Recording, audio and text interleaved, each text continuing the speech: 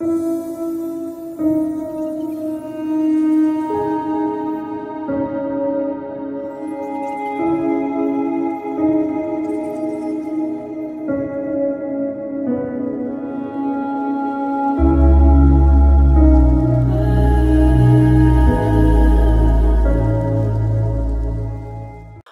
tous, c'est euh, Elisabeth, j'espère que vous allez bien. Je vous retrouve aujourd'hui à travers cette vidéo euh, de débriefing, on va appeler ça comme ça, euh, qui va me permettre de revenir sur la collaboration que j'ai fait avec la chaîne JRM Paranormal en juillet dernier au château de Vos.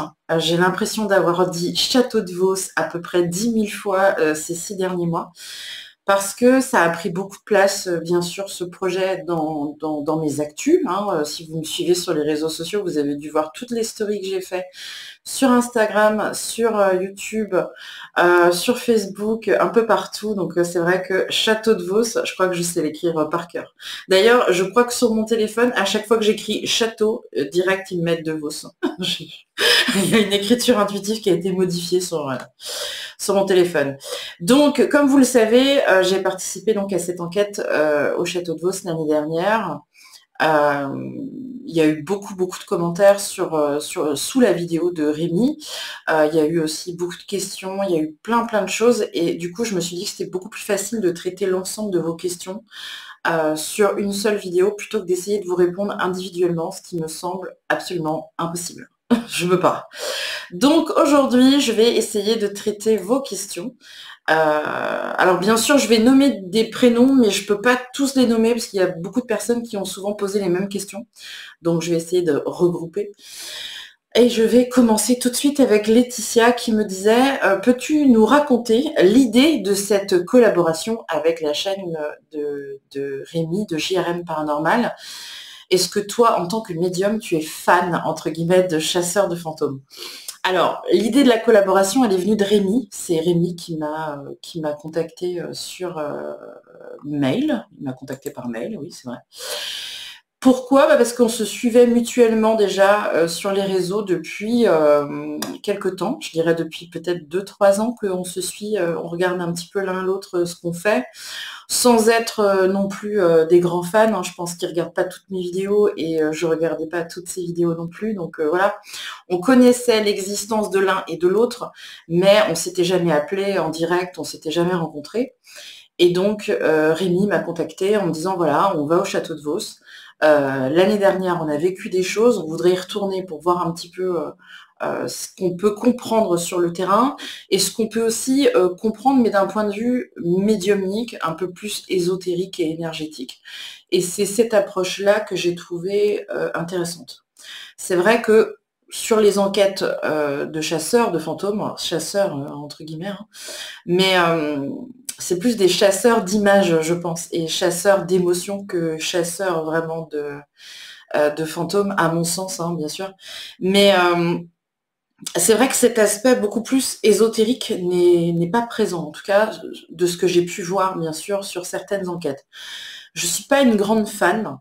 Euh, je suis assez admiratrice du travail que font ces personnes-là parce que je pense que pour rester des heures et des heures dans un couloir à essayer d'avoir quelque chose, euh, il faut vraiment euh, en avoir envie. Donc il y a le, le, courage aussi parce que se retrouver tout seul, il y a des personnes qui font des enquêtes tout seuls, donc se retrouver dans un lieu en pleine nuit dans le noir à essayer d'avoir du résultat ou à essayer de capter un phénomène, euh, ben, je pense que ouais, il faut avoir de l'admiration quand même pour ces gens-là. Il y, a, quand même une grande part de courage qu'on ne peut sous-estimer. Après, grande fan, euh, je dirais non, mais après, tout ce qui va toucher bien sûr au paranormal de près ou de loin, de toute façon, va euh, m'intéresser.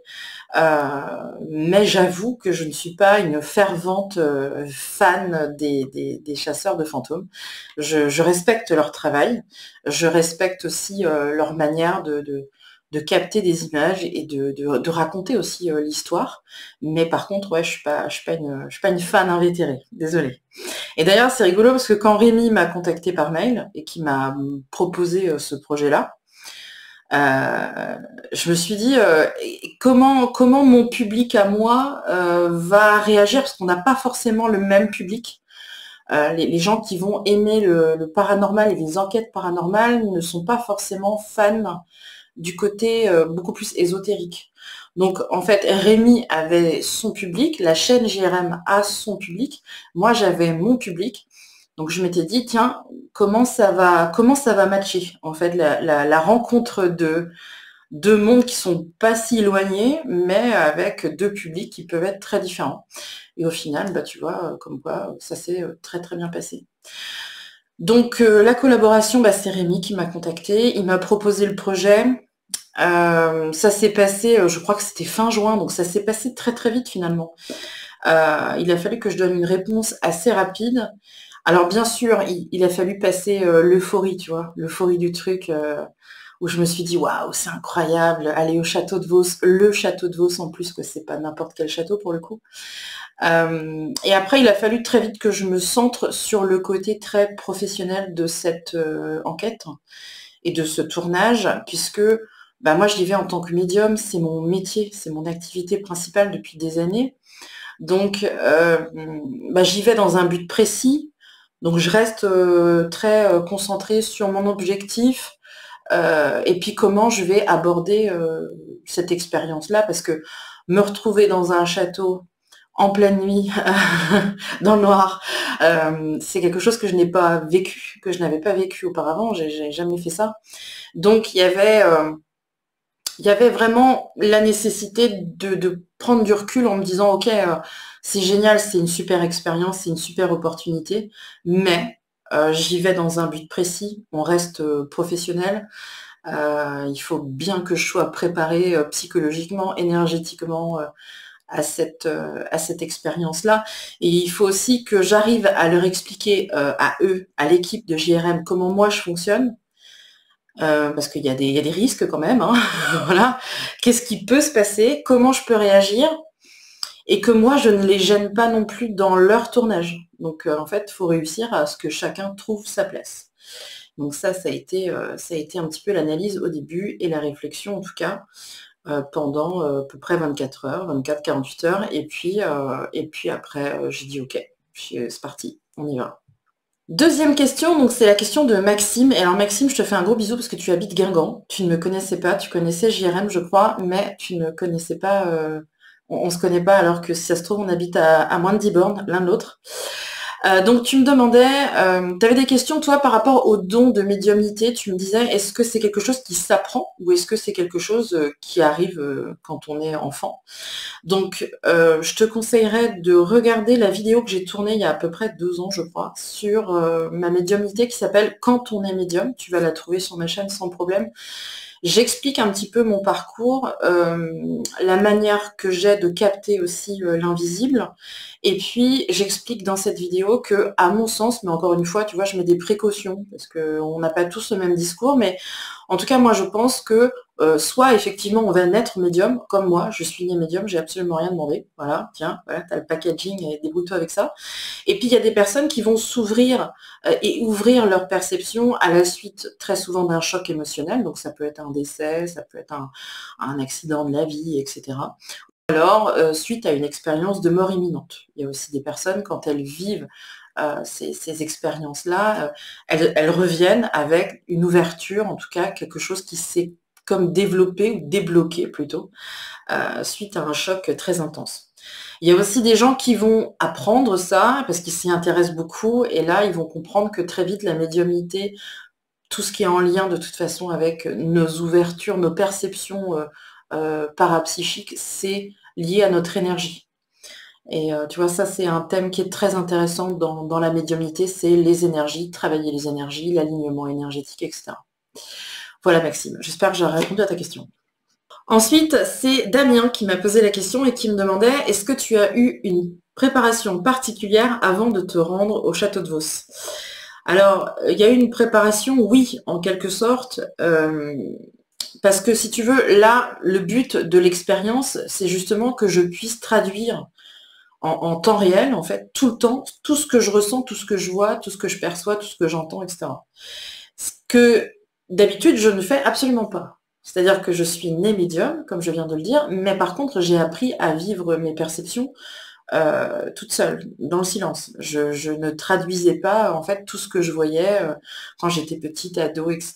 Et même dans ma vie de tous les jours, tu vois, je suis mariée, j'ai des enfants et je suis pas tout le temps en train de dire tiens là il y a ci, il y a ça, etc. Pas du tout. Je pense que le, médium a l'habitude de vivre tout euh, en interne, tu vois. On, gère, on gère les choses en interne. Tandis que là, le but, ben, justement, c'est de dire, de traduire tout le temps euh, les choses, qu'est-ce qu'on voit, qu'est-ce qu'on ressent, qu'est-ce qu'on entend, euh, qu'est-ce qu'on capte. Donc la préparation, c'était plutôt déjà de se dire, bon, il va falloir que je sois tout le temps connecté entre le monde physique, ce que je vois et ce que les gens qui sont avec moi, et puis de l'autre côté, ben, euh, l'autre monde où justement ben, il y a toutes ces perceptions-là qui vont venir euh, tout le temps, en permanence. Donc il y a une préparation énergétique. Je me suis bien reposée avant d'y aller. Euh, je me suis bien centrée, comme on dit, bien ancrée dans la matière. je restais très concentrée aussi sur mes objectifs.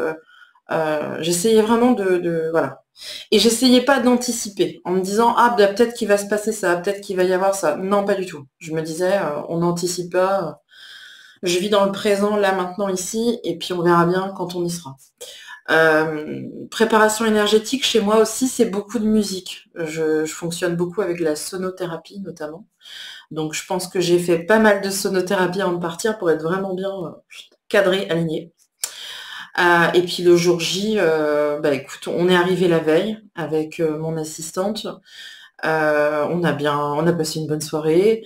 on a essayé de dormir. Moi, j'ai pas trop dormi parce que j'étais un petit peu quand même. j'étais un peu au taquet. J'étais prête en fait. Donc je voulais arriver la veille pour être pour être reposée. Et puis en fait. je pense que porté par le projet, l'excitation, l'envie d'y être, etc., bah, on a du mal à trouver le sommeil. Mais ça allait, j'étais quand même, j'étais quand même bien. Et puis euh, quelques jours avant aussi, j'avais déjà eu des messages que moi je communique beaucoup avec mes guides. Et j'avais mon, guide principal qui me disait euh, T'inquiète pas, ça va bien se passer.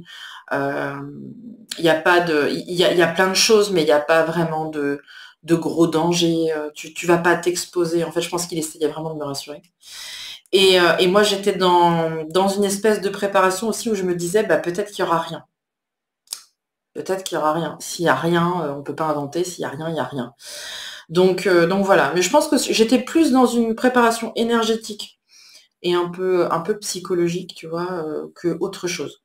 J'ai pas mis en place de rituel, j'ai pas mis en place rien du tout. tu vois, si vraiment on est dans le domaine ésotérique à fond, non, je suis pas arrivée avec toutes mes pierres et tout de protection. Ensuite, il y a Hélène qui me demande quelles sont tes impressions lorsque tu arrives à l'entrée du château. Alors c'est assez drôle, Hélène, que tu me poses cette question.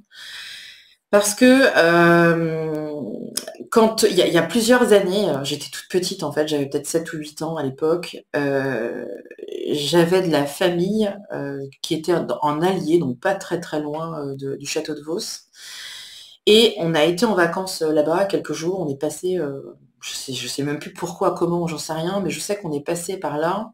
On s'est arrêté quelques jours euh, dans, la famille et on nous a parlé du château de Vos. Et c'était un peu une curiosité locale, hein. tout le monde parlait de Vos euh, aux alentours. Et du coup, on a été, avec mes parents et ma sœur à l'époque, on a été devant le château, en voiture. Malheureusement, on ne pouvait pas rentrer dans le château. Le, les grilles étaient fermées, on ne pouvait pas accéder au château, ni le visiter, ni rien du tout. Et moi, j'avais peut-être, j'étais jeune, je pense que j'avais 7 ou 8 ans, pas plus. Et du coup, on est resté devant cette grille fermée. Et bah, quelques années plus tard, bon, beaucoup d'années plus tard, je, l'accorde, eh ben, je me retrouve là, devant les grilles du château. Je me dis, c'est fou parce que je suis passée là il y a, plus de 30 ans et j'ai pas pu entrer, euh, j'ai pas pu y entrer. En même temps, je pense que Heureusement, quelque part, que j'y suis pas rentrée quand j'avais 7 ans, parce que je pense que là, j'aurais été dans un sale état. Et quelque part, 30 ans plus tard, je reviens, et cette fois-ci, bah, les grilles, euh, elles s'ouvrent et, on peut rentrer dans le château. Donc on est très, euh, on est dans l'émotion euh, quand on arrive au château parce que parce que c'est mythique, c'est le château de Vos. C'est un truc de fou, quoi. Et euh, donc on rentre dans le château, on croise Rémi, donc euh, on, discute brièvement, et il y a un sentier, donc euh, pour ceux qui ont été, ils vont, reconnaître, ceux qui n'y ont pas été, ben, vous allez le découvrir. En fait, vous avez les grilles du château, et après vous avez tout un chemin en fait qui va mener jusqu'au château, jusqu'à la cour du château.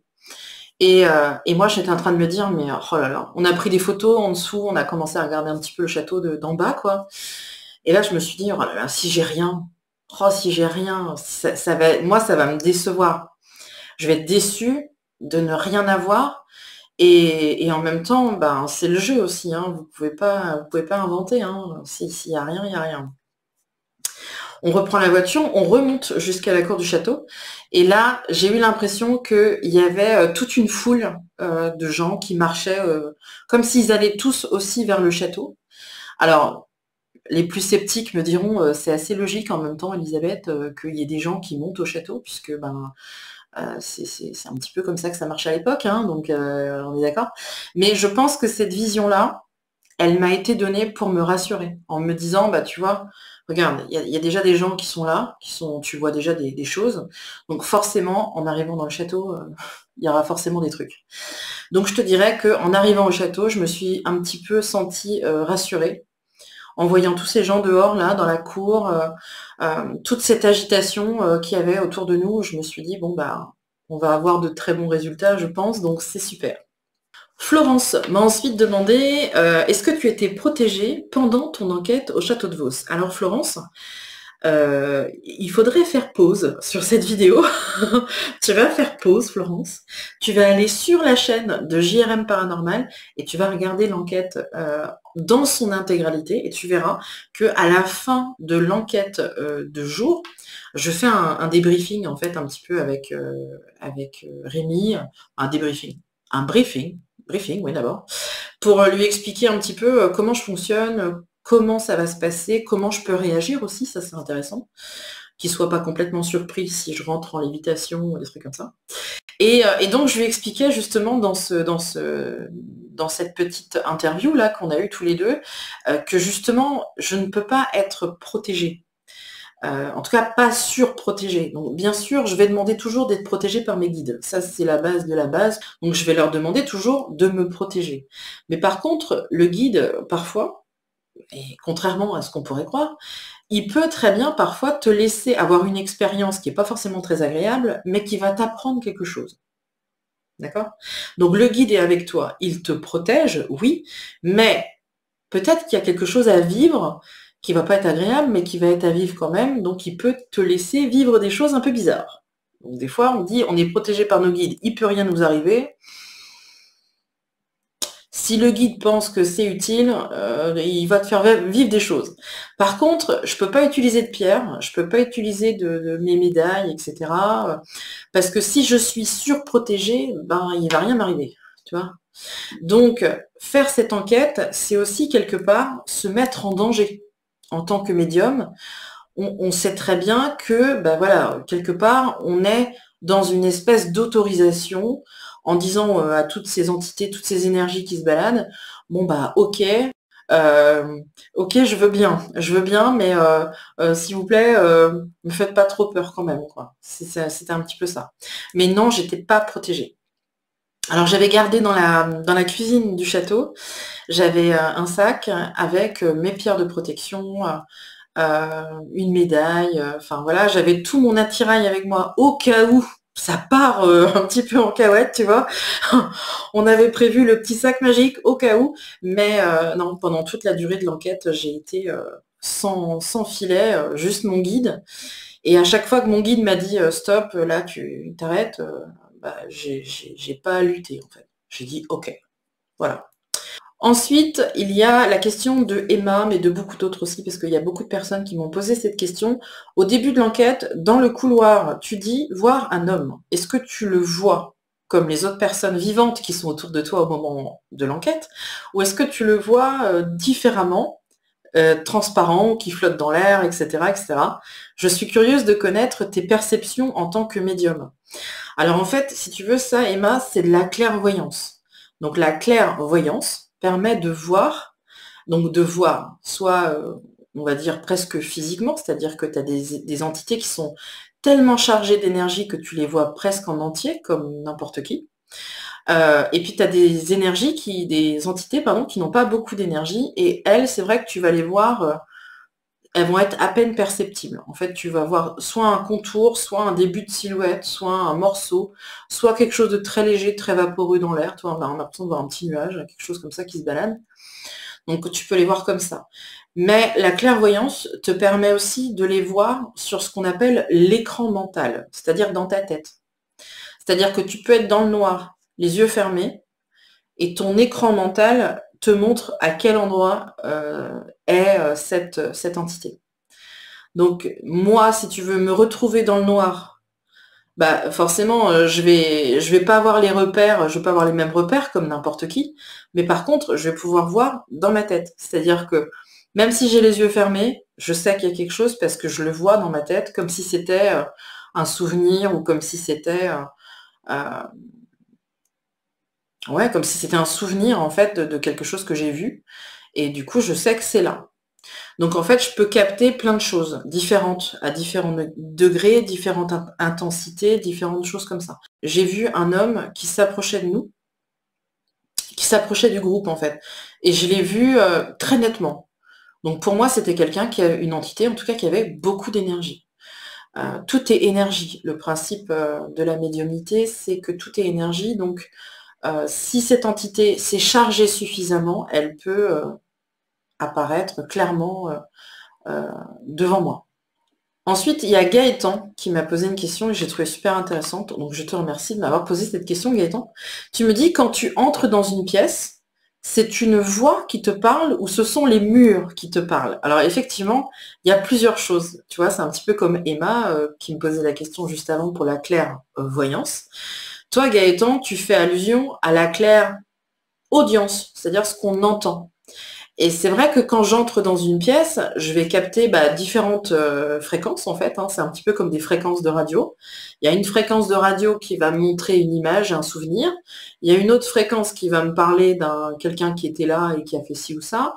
Et puis à côté, je vais peut-être avoir une autre fréquence qui va me dire bah là, euh, dans cette, dans cette pièce, il s'est passé ça. Donc en fait, il faut imaginer de rentrer dans une pièce, et là, tu es bombardé d'infos, quoi. Tu as, une info comme ça, là, un truc qui arrive là, un truc qui est ça, ton guide, il te dit un truc. Euh, c'est un petit peu ça. Donc, euh, tu as plein de choses. L'idéal, c'est de réussir à faire le, silence euh, dans ta tête, de rentrer. D'ailleurs, c'est ce qu'ils ont fait à chaque fois quasiment. Donc, ils ont ils m'ont laissé rentrer dans les pièces et je captais des choses, des choses et je disais, bah là, il se passe ci, il se passe ça, etc. Mais effectivement, ça peut être comme des voix qui me parle euh, comme je te parle actuellement là. Ou alors ça peut être aussi euh, des personnes. Il y, a une personne, euh, quand on a été à un moment donné, alors attention, je vais spoiler là aussi, on est rentré dans une pièce et je voyais quelqu'un qui priait. Donc là, je le voyais, donc j'avais une fréquence, tu vois, qui me montrait un homme habillé en noir qui était en train de, prier ou de réciter des prières. Et à côté, j'avais une autre fréquence qui me disait, il est enfermé. Donc ça, c'est une deuxième fréquence. Troisième fréquence, on montrait quelqu'un qui arrivait devant sa porte et qui déposait des livres. Donc j'ai conclu que ce monsieur était enfermé et que bah, pour tuer le temps, entre guillemets, on lui a envoyé des livres. Mais là, je pense que la vision de quelqu'un dans le couloir, c'est une mémoire résiduelle liée au couloir c'est le couloir en fait qui me raconte ça. Donc c'est une fréquence différente encore. Donc en fait, tu vois, le médium, c'est un petit peu comme une antenne et on capte différentes fréquences. Et avec tous les éléments qu'on a, on arrive à, resituer un petit peu euh, les événements, une scène, ce qui s'est passé. Donc tu peux recevoir effectivement euh, des informations, euh, soit bah, de, l'entité, de la personne qui a vécu là, du lieu, ça peut être aussi un objet, pourquoi pas. Tu vois, au début de l'enquête, on passe dans le couloir et il y a, quelque chose qui me fait réagir. Je sens qu'il y a quelque chose sur la droite qui me fait réagir. Et il y a des, copies d'armes en fait qui sont mises là. Et en fait, je vois ça, donc euh, réflexe, je me dis, bah si ça se trouve, c'est une, vraie, ça se trouve, c'est une vraie arme. Et puis après, quand j'ai pris les mesures au pendule, je me suis rendu compte qu'en fait, c'était pas du tout les armes, c'était la table. Et euh, après, en discutant avec, euh, Jérémy, le, fils du de la propriétaire, bah, il m'a dit qu'effectivement, cette table, elle était là depuis très longtemps. Il ne peut pas exactement dater, mais au final, l'énergie qui m'a un petit peu euh, mis dans l'inconfort, là, une seconde ou deux, clac, c'était la table. Donc c'est intéressant. Hein. Enfin, c'est fou euh, comme on peut réagir. Quand on est euh, quand on est médium, on essaie toujours de, de, faire comme si tout allait bien quand on est en public, avec les enfants, la famille, en vacances, n'importe où au resto. On essaie toujours de prendre sur nous et de pas montrer que tiens, il y a un truc qui nous fait réagir, tiens, là on a vu un truc, tiens, il se passe un truc. On, vit toujours tout ça en interne. Et là, bah, au final, le but c'est vraiment de, de, laisser les choses venir. Donc du coup, on réagit. moi, je me suis surprise à réagir très très vite, à avoir des réactions je me dis, tiens, euh, en temps normal, ça, je l'aurais pris sur moi aussi. Mais, euh, mais c'est super intéressant. Michael me disait, quelle est pour toi la partie du château la plus chargée? Alors, tu sais, euh, Michael, je pense que c'est un lieu, de toute façon, qui est très ancien, avec différentes, différentes bâtisses, différentes architectures. Enfin, c'est un peu particulier comme décor. Mais je pense que le lieu en lui-même, est chargé de toute façon. Il y a plein de choses. Mais c'est un lieu qui est ancien, donc je te dirais que jusque-là, euh, aucune différence. Tu prends n'importe quel château médiéval, de toute façon, euh, tu vas avoir des choses. Mais par contre, la partie du château qui m'a mise le plus dans l'inconfort, en fait, et qui m'a qui m'a presque gênée, c'est euh, le fameux couloir où il y avait tous les portraits, que Rémi appelle la galerie des portraits. Et c'est dans ce, dans ce couloir-là où, euh, pour moi, il y avait le plus d'activités, euh, avec, euh, avec vraiment beaucoup de choses très différentes. on avait un petit peu plusieurs époques qui se mélangeaient, mais c'était quand même un, des lieux qui a été, en tout cas pour moi, je pense que j'ai un peu trouvé ma, ma limite dans, dans ce couloir. Ça, a été, euh, je pense que ça, pourtant on, a déambulé un petit peu partout, on a été à différents endroits, mais quand on est revenu la deuxième fois, euh, on était devant la porte et euh, c'est Moïse, je crois, qui a dit bon bah les filles, vous êtes prêtes, on y va, ouais ouais ouais ouais, on est, on est vachement prêts. Donc ouais, sans, sans aucune hésitation, je dirais la galerie des portraits. Ensuite, nous allons poursuivre avec Marie. Marie qui me disait, est-ce que tu peux nous décrire le chien qui est passé sous la table? Alors effectivement, à un moment donné dans l'enquête, euh, on se retrouve dans, dans, une des pièces, on s'assoit autour d'une table et euh, je, sens, euh, enfin toujours encore une fois par écran mental, je vois une forme se déplacer sur la gauche, donc rentrer en fait dans la pièce.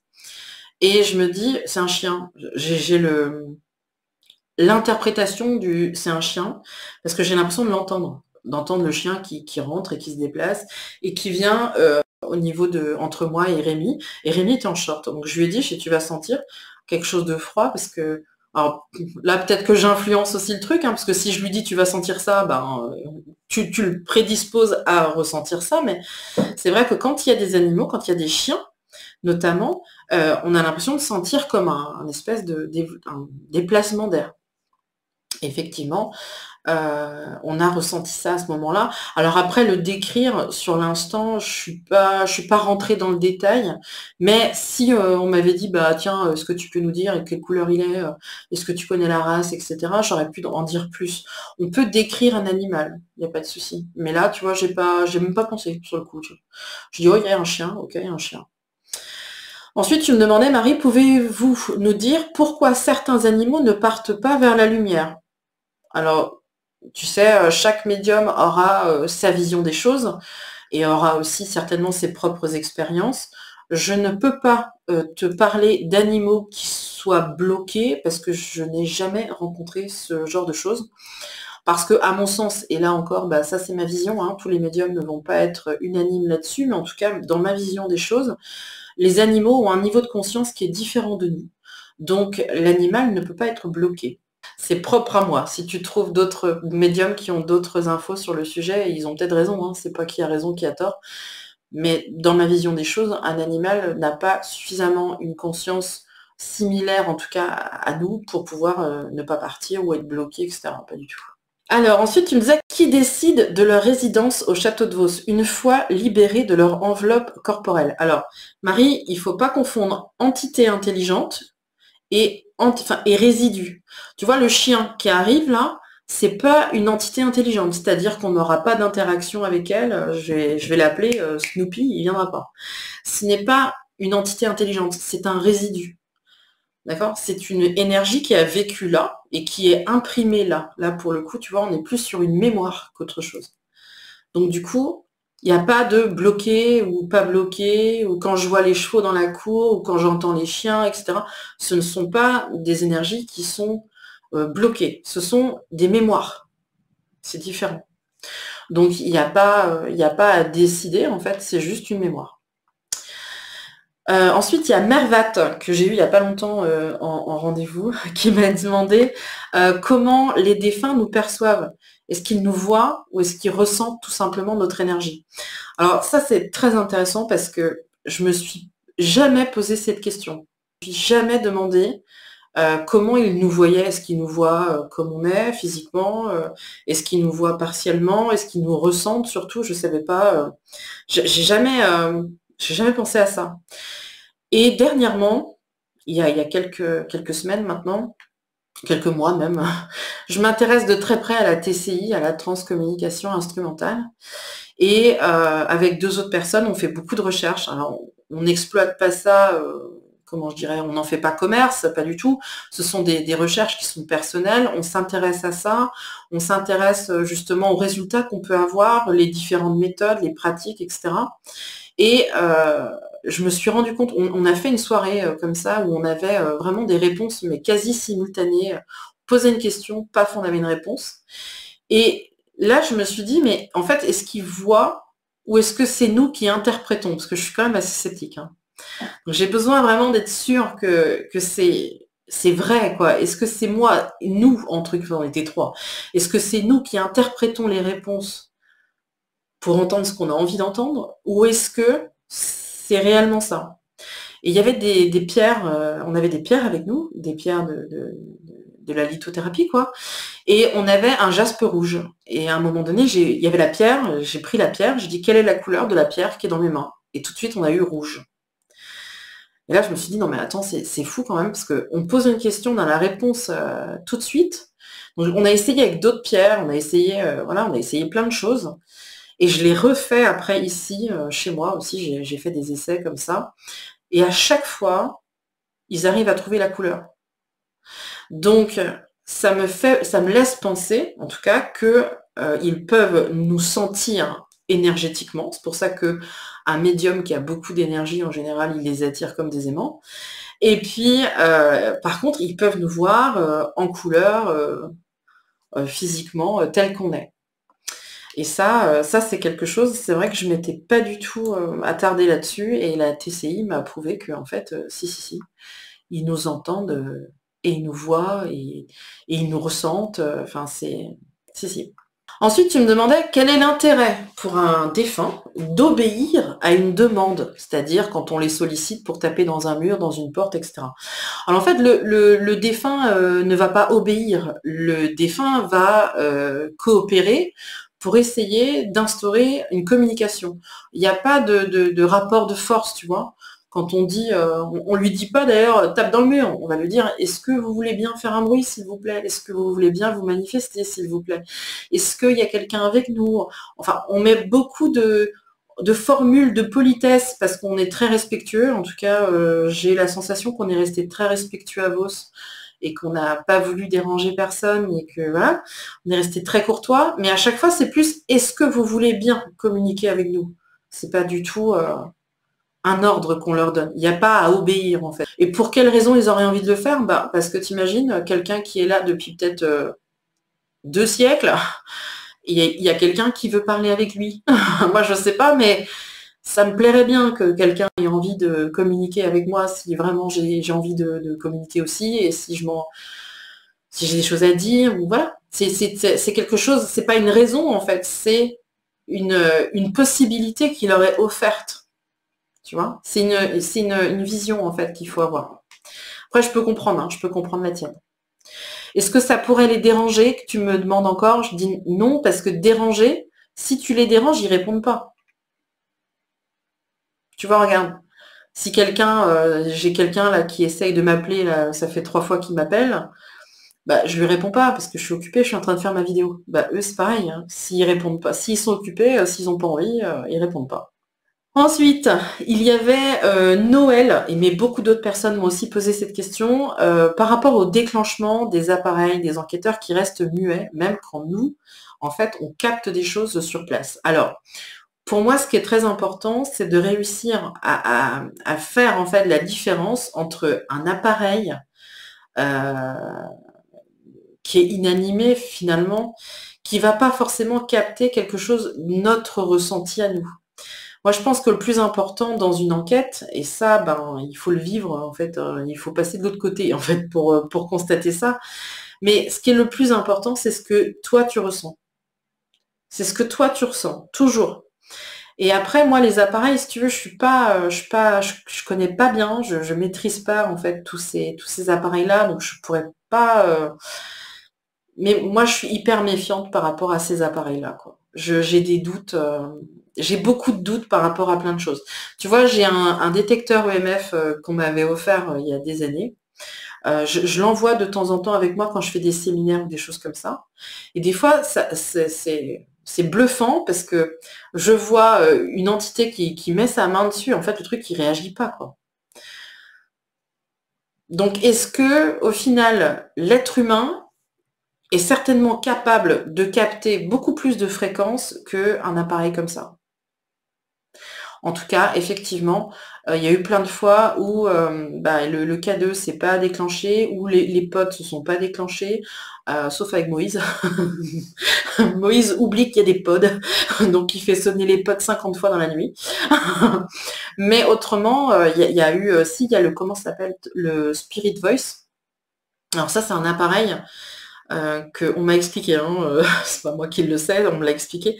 Il y, a une, il y a une bibliothèque de mots en fait à l'intérieur, et selon les fréquences que capte l'appareil, ils vont euh, ressortir les mots. C'est vrai que c'est troublant quand même, et si vous regardez l'enquête, c'est quand même dingue que l'appareil nous sorte ces mots-là. Mais moi je me dis, mais ça se trouve, il y a un micro dans l'appareil qui enregistre les conversations et qui ressort du coup des mots qui corroborent parfaitement avec les conversations. On ne sait pas. Donc moi, je suis un peu sceptique. Je suis un peu sceptique euh, sur tout ce qui est euh, tout ce qui est comme ça. Euh.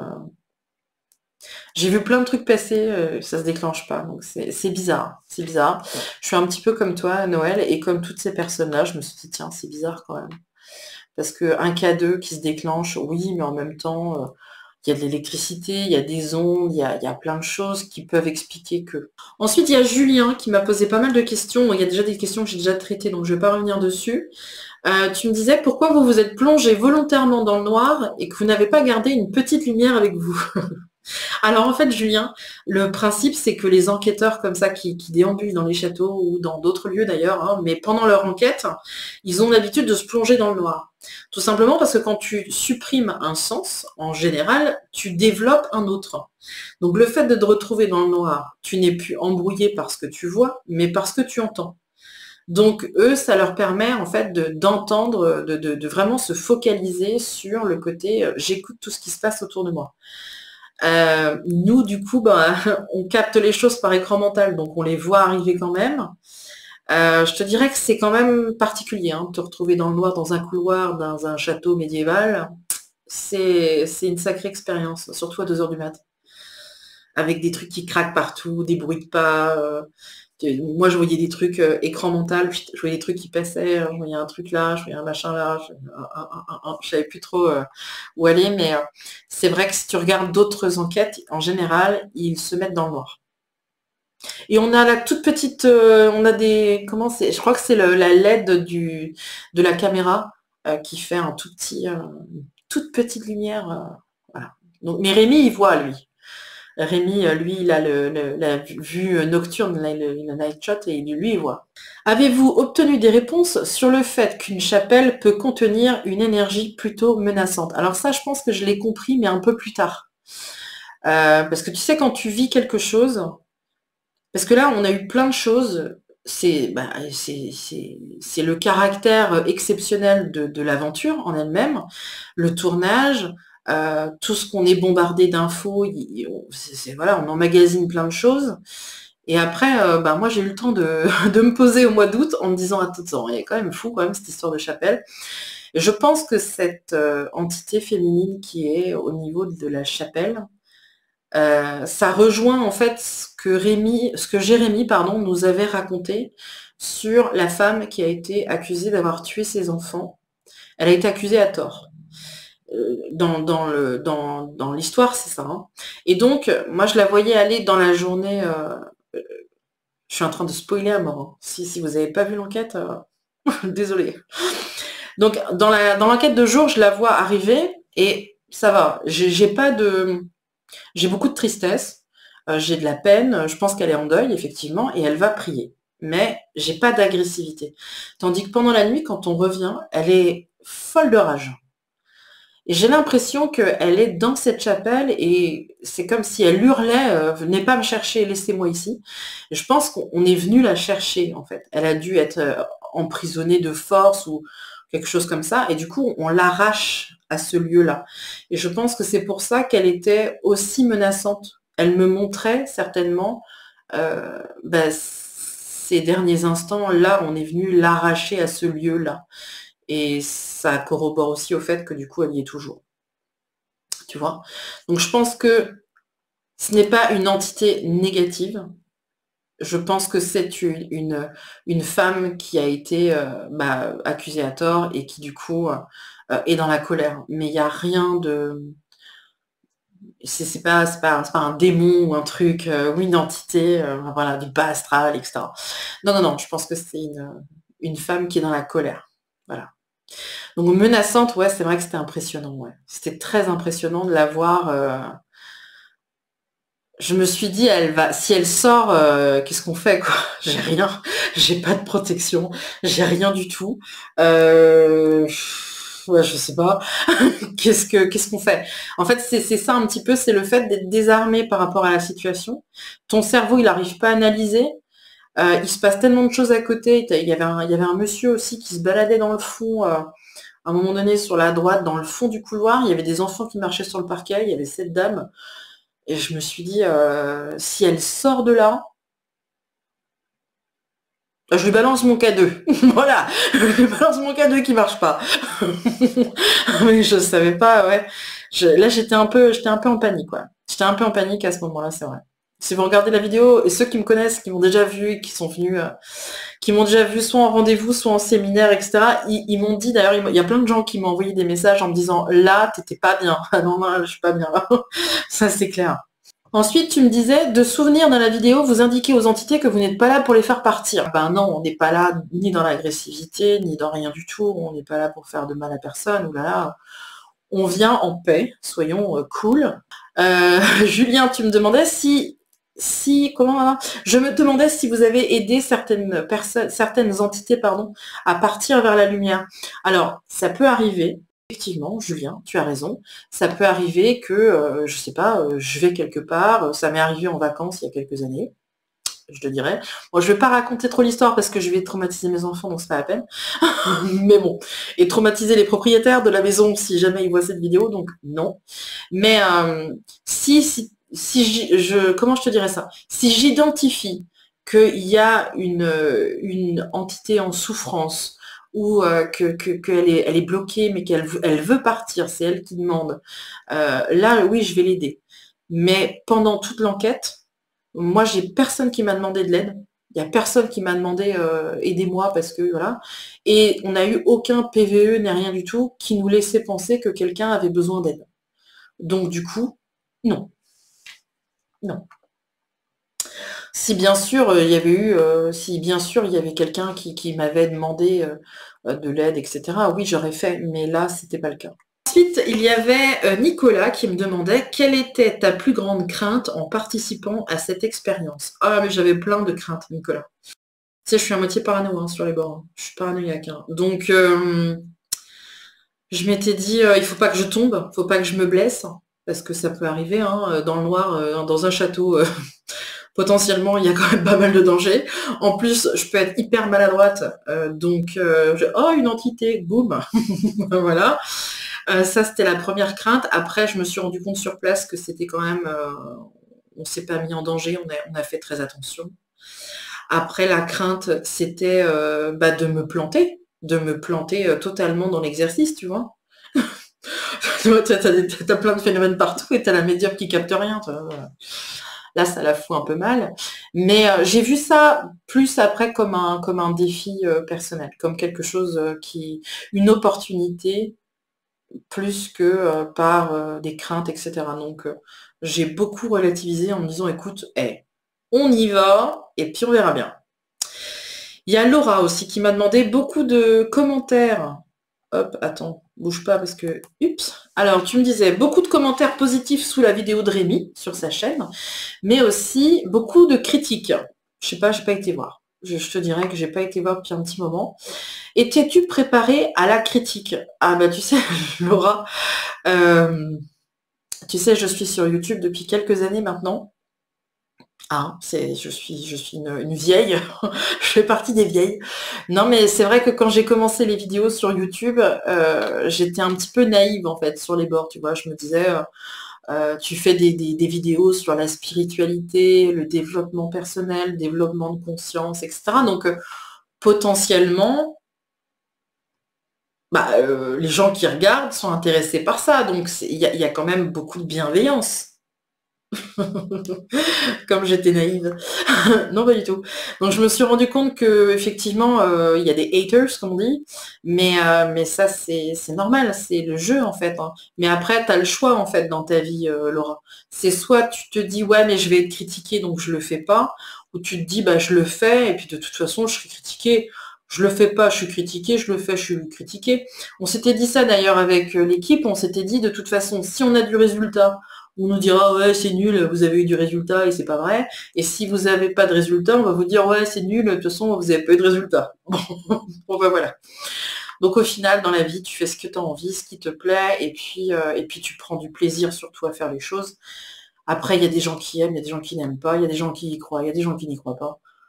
C'est pas, c'est pas mon problème. Tu peux pas, tu peux pas normalement être dérangé euh, par les croyances de quelqu'un d'autre il n'a pas envie d'y croire, il n'y croit pas. C'est pas grave ça. C'est pas grave. Et puis après, je vais te dire aussi, un truc qui est important et qu'il ne faut pas perdre de vue, à mon sens, encore une fois, c'est que la critique, il faut que tu regardes qui te critique. Tu vois?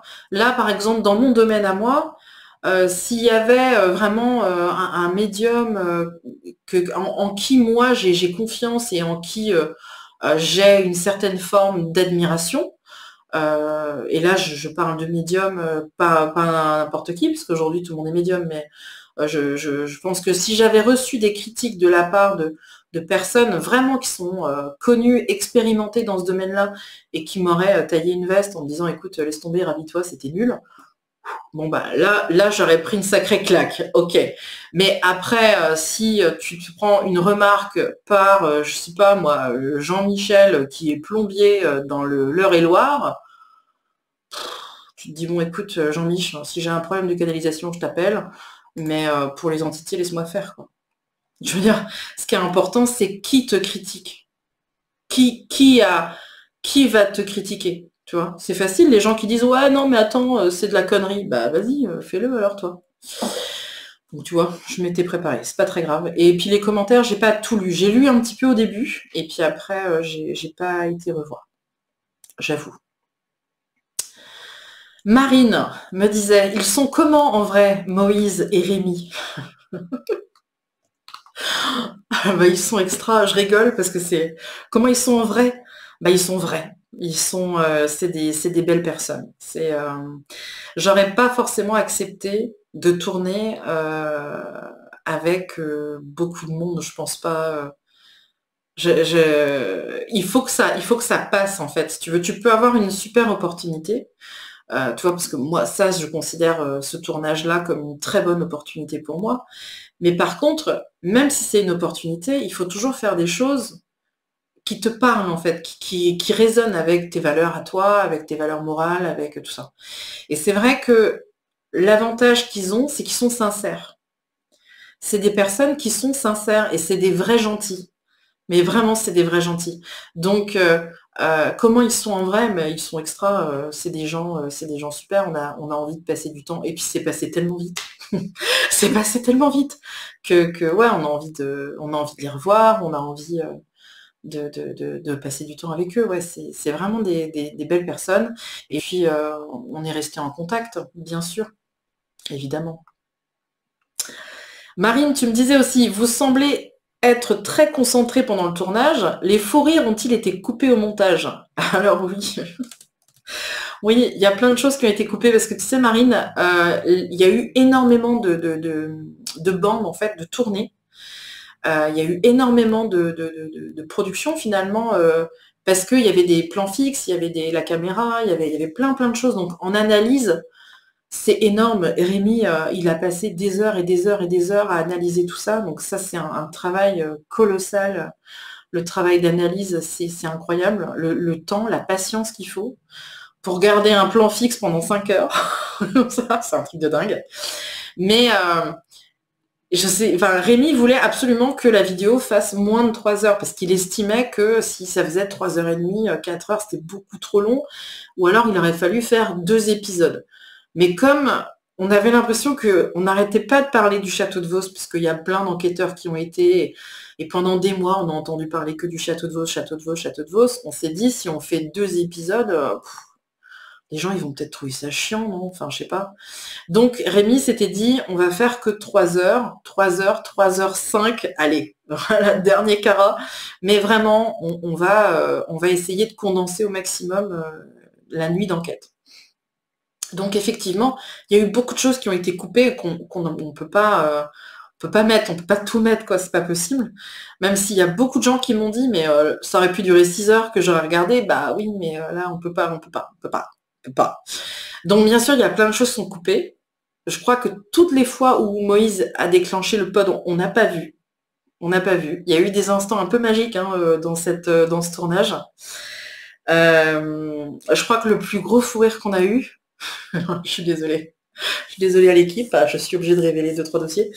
le plus gros fou rire, ça a été le moment où, où Jérémy, donc le soir, en fait, c'était juste, on, avant le tournage, avant de tourner l'enquête de nuit, on était en train de manger dans la cuisine. Et euh, Jérémy, euh, euh, le fils de, la propriétaire, me dit Mais viens, viens avec moi, Elisabeth, je vais te montrer un truc dehors, machin. Et donc, je pars dehors avec lui, et puis bah, tout le monde suit un petit peu. Et là, il commence à nous raconter bah, le château, à quoi ça correspondait, qu'est-ce qui s'est passé, qu'est-ce qu'il y a eu, etc. Et du coup, euh, Rémi, euh, il dit non mais attendez, je vais chercher la caméra. Donc il court chercher la caméra, il revient, on commence à, faire le tour avec lui. Et c'est là qu'il nous explique vraiment, euh, qu'il nous donne plein de détails sur le château qu'on ne connaissait pas. Et puis, il nous envoie à l'extérieur du château, donc juste à l'entrée, où il nous explique, on voit le plan d'ailleurs dans la vidéo, où il explique pour l'eau chaude qui était jetée sur les assaillants, etc. Et après, il nous fait regarder la façade et il nous dit, euh, vous voyez les, bandes de schiste. le schiste, c'est de la pierre. Hein, euh, donc, il nous explique ça euh, en anglais, bien sûr. Il nous fait remarquer qu'on voit en fait la roche sur laquelle est posé bah, le château, quelque part, hein, les fondations du château. Et donc, on voit des bandes de schiste. Et là, je ne sais pas pourquoi, en fait, le fait de parler anglais, ça a certainement un petit peu embrouillé euh, Moïse. Et Moïse se retourne vers moi et il me dit Quoi? Il a dit quoi? Il a dit fist Je dis Mais non Il a dit schiste, ça n'a rien à voir. et là, bah, je ne pouvais pas traduire ça à Jérémy, mais je crois qu'on a complètement perdu pied. Jérémy n'a pas compris, il est resté un peu hébété de nous regarder, et je crois que nous, on nous a définitivement perdu. Donc on s'est rendu compte que Moïse euh, confondait le schiste et le fiste, qui n'ont rien à voir. L'après-enquête. Donc là, il y a beaucoup de personnes aussi qui m'ont questionné par rapport à ça, en me demandant si, une fois qu'on était parti, une fois qu'on est rentré chez nous, est-ce qu'on a ramené des entités avec nous? Donc non, absolument pas. Euh, on est rentré euh, direct en Bretagne et je vous avouerai que le soir même, j'ai fait un, un, rituel de purification pour vraiment bien se, nettoyer, se purifier. J'en ai fait un deuxième euh, quelques jours plus tard. J'ai aussi purifié tout euh, ce que j'avais pris avec moi, donc les pierres, la médaille, le pendule, tout ce que j'avais pris avec moi a été purifié en rentrant. Mais Dieu merci, je n'ai rien ramené. Et toutes les entités qui étaient là-bas sont restées là-bas. Je n'ai pas eu de contact avec les entités après quand je suis rentrée. Non. Non, non, non, merci. Euh, dernière question, donc ça c'était la question de Cindy, mais vous avez été nombreux aussi à, la poser cette question, c'est est-ce que tu peux nous faire un bilan euh, de cette expérience? Donc bilan extrêmement positif pour moi, c'était une aventure absolument euh, hors du commun. Franchement, c'était merveilleux. J'ai passé un très très bon moment là-bas. Je remercierai jamais assez Rémi pour, m'avoir permis de, de, vivre cette expérience-là avec eux. Euh, sur ma médiumnité, j'ai été extrêmement euh, satisfaite. Là, mon ego a fait la roue pendant à peu près deux mois. mon ego était oui, il faisait la majorette en disant waouh, c'est quand même, bien. Euh, c'est un vrai exercice. Hein. Ça paraît pas comme ça. On a l'impression que c'est fastoche, hein, mais je vous assure que c'est un vrai exercice. C'était une vraie mise en situation. C'est-à-dire que là, pour le coup, on se retrouve dans un endroit qu'on connaît pas en fait dans l'histoire, dans l'historique. Moi, je le connais pas ce château. Je connais euh, uniquement ce qui est passé à la télé euh, il y a 20 ans sur un reportage de 10 minutes. Donc, je ne connais pas en fait euh, l'historique du château. Donc, finalement, c'est un vrai exercice, une vraie mise en situation. Et quand on, a le, retour du fils de, la propriétaire qui nous explique, etc., que en fait, il y a quasiment tout qui corrobore avec ce que j'ai capté dans la journée c'est, on peut être que fier de soi. C'est, faut, faut pas, faut pas, faut pas feindre le contraire. C'est, c'est carrément ça. Donc, je suis très contente d'avoir vécu cette expérience. Euh, je suis contente aussi pour tout ce que ça m'a apporté parce que, euh, en fait, ça a été euh, cette, cette expérience-là quelque part, il y a un petit effet domino. C'est-à-dire que de, cette expérience au château de Vos, moi, dans mes perceptions, dans ma façon de vivre ma médiumnité, dans, dans mes recherches aussi permanentes et, que je fais sur plein de choses, eh ben, ça m'a apporté beaucoup de choses ça m'a apporté d'autres pistes en fait sur, euh, sur euh, Raymond Réan notamment qui a été euh, le médium dans les années 80 qui avait vécu l'expérience avec France Inter, sur ses écrits, sur ses travaux, sur, sur vraiment sur plein de choses. Donc je te dirais que le bilan il est extrêmement positif, que ce soit sur le plan humain, parce que euh, c'est des gens, euh, Rémi et Moïse, c'est vraiment des personnes qui sont extraordinaires et que je reverrai bien entendu.